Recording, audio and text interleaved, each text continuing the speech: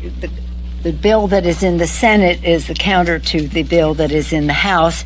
Uh, Bobby Scott, chair of the committee, Congresswoman Jahana Hayes has taken the lead on this uh, in the House. We're very proud of her leadership in this regard and eager to hear what she has to say. Thank you, Madam Speaker. Um, as you just heard Senator Stabenow say, uh, WIC recipients utilize formula at a rate double most other people in this country. About 50% of our babies rely on the WIC program for for milk, and that is disproportionate.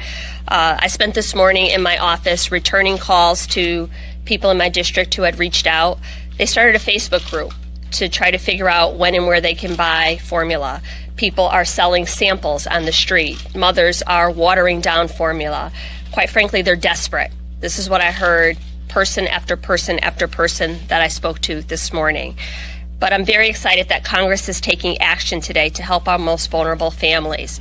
Over the past few weeks, Speaker Pelosi, in every meeting that we've been in, has raised this issue of this crisis about formula shortage. I'm excited to work with leadership and introduce the Access to Baby Formula Act, which really is a backup plan. There should have been a backup plan for when there was a recall for families who receive WIC, how they would be able to access formula.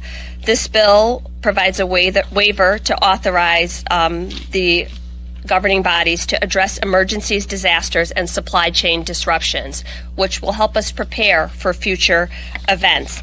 I'm very excited to be able to work with Chairman Bobby Scott on this issue. I chaired the nutrition subcommittee on ag, but WIC falls under ed and labor. So, what this bill shows is that Democrats are aligned on this issue and really working together, not only to open up the supply chain to get milk and baby formula back on the shelves immediately, but long term to make sure that we have a plan in place so that this never happens again. I can tell you that. Um, I understand completely what parents are going through right now. I was a participant in the WIC program. I know what it means to not be able to stretch out milk through the entire month. And that's what I heard this morning on the phone from these parents and grandparents that I was talking to. What I'd like to tell them is that their words are not falling on deaf ears, that we see them and we hear them, and we are working very hard in Congress to address this rising concern. Um, with everything going on right now, the last thing a family should have to worry about is feeding their children.